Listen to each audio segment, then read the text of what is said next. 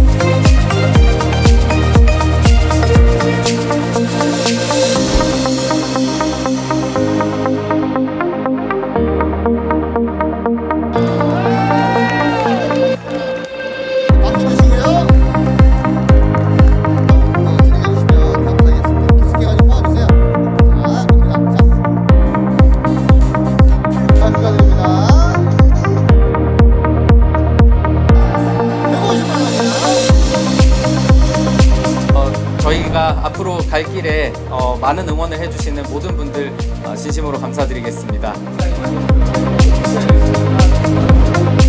김홍식 그리고 모타 페스티벌 축하를 드립니다.